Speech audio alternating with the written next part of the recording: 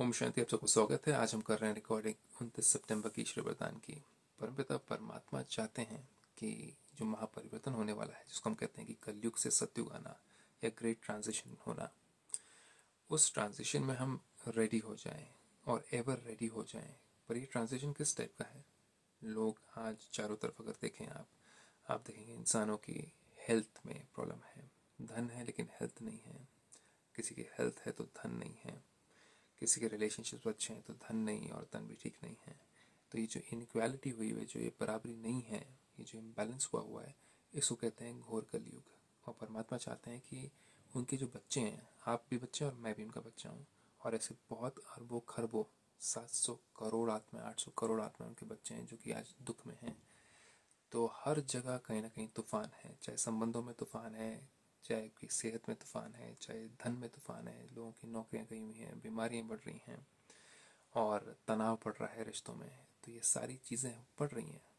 परमात्मा चाहते हैं कि ये सब कुछ ख़त्म हो जाए। क्या आप नहीं चाहते कि सब कुछ ख़त्म हो जाए? कि आपके पास में धन भी हो प्रॉस्पेरिटी मतलब कि धन और प्रॉस्पेरिटी हो, सुख हो, शांति हो, प्रेम हो, खुशी हो और साथ साथ तंदुरुस्त शरीर हो? अगर आप ये जानते हैं तो परमात्मा कहते हैं कि इसके लिए महापरिवर्तन बहुत ज़रूरी है और वो महापरिवर्तन है ग्रेट डिस्ट्रक्शन जिसको कि हम कयामत का समय भी कहते हैं, महाकाल का समय भी कहते हैं। महाकाल मतलब ग्रेट डेथ काल मतलब डेथ और साथ ही साथ उसको हम इंग्लिश में एपोक्लिप्स भी कहते हैं क्रिश्चियनिटी के हिसाब से एंड ऑफ़ डेज़ भी कहते हैं। तो परमात्मा कहते हैं कि ये डिस्ट्रक्शन नहीं है, लेकिन ये ट्रांजिशन है कलयुग से सत्य की तरफ़। लेकिन क्या हम रेडी हैं कलयुग से सत्य की तरफ़ जाने के लिए? लेकिन सत्युग जाने से पहले भी एक और जगह जाना है, जिसको कहते हैं परम धाम, वापस लौटना है परमात्मा के साथ में, जिसको हम फादर कहें, अल्लाह कहें जीवा कहें, उनके घर वापस जाना है। क्या हम इतने पाक, साफ़, इतने पवित्र, इतने महान बन चुके हैं कि हम ऊपर जाने के लायक हैं कि नहीं? ये चेक करना हमारा ब्रह्म कुमारी इसमें होता है, जो कि यूनिवर्सिटी है, जहाँ पर भी परम पिता, परमात्मा हमें कंडीशंस देते हैं। हमें अपनी प्योरिटी चेक करने के लिए और हमें तरीका बताते हैं कि हमें प्योर कैसे बनना है। और शांत कैसे रहना है? क्योंकि बे शांत आत्मा जिसके अंदर शांति नहीं है, जिसके अंदर सुख नहीं है, जिसके अंदर खुशी नहीं है, वो सत्युग में एंटर नहीं कर सकती। तो हमारा कनेक्शन परमात्मा के साथ में जितना होगा, उतना हम डिटैच होंगे, ना किसी से दुख लेंगे, ना किसी को दुख देंगे। और ये एक जर्नी है जो की आती है। ये जर्नी क्या है? इसको हम थोड़ा सा समझें। परमात्मा कहते हैं, विनाश के पहले एवर रेडी रहने वाले समान और संपन्न भवा समान हुए, परमात्मा से और संपन्न हुए गुणों में, शक्तियों में और अच्छे संस्कारों में। विनाश के पहले एवर रेडी बनना ही सेफ्टी का साधन है। अगर हमारे पास में कोई और कर्मों के कारण से कहीं बंधन रह गए हैं तो शरीर छोड़ना मुश्किल होगा, क्योंकि वो व्यक्ति याद आएगा जिसके साथ हमने बुरा किया है। या किसी का धन लूटा, या किसी के साथ में गलत व्यवहार किया, या किसी के साथ में संबंध बिगाड़े, या किसी की सेहत बिगाड़ी तो वो सारी चीज़ें आपको इस शरीर से अलग होकर के वापस जाने नहीं देंगी, पकड़ के रखेंगी। तो क्या हम संपन्न हैं, क्या हम रेडी हैं? सोचिएगा इसके बारे में।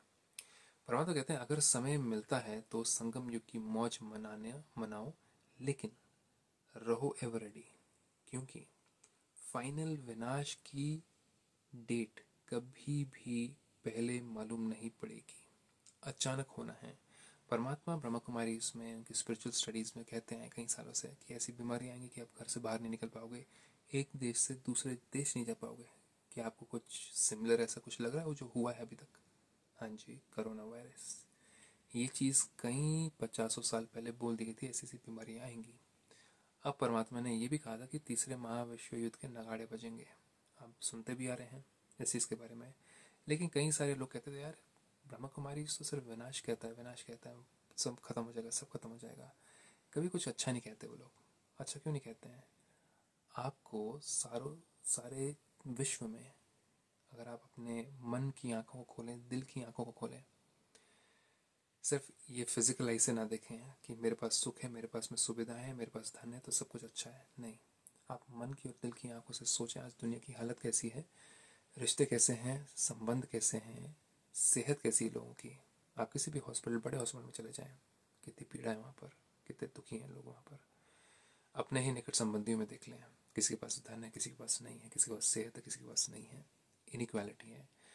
तो क्या हम सेल्फिश हो सकते हैं कि नहीं, मेरे लिए तो स्वर्ग है, मेरे पास धन है, मेरे पास संपत्ति तो मेरे लिए तो ठीक है, बाकी दुनिया का क्या करूँ मैं?